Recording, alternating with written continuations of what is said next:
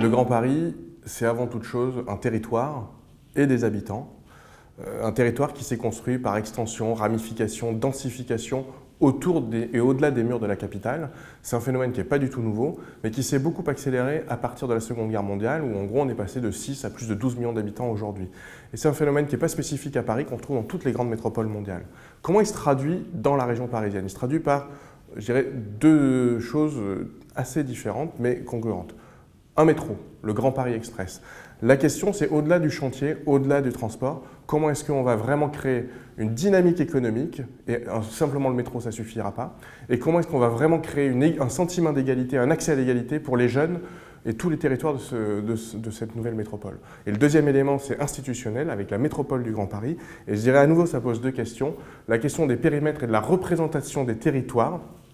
Et le deuxième élément, c'est la question des habitants. Comment est-ce que chacun se sent représenté? Comment est-ce qu'on organise la démocratie à cette échelle-là?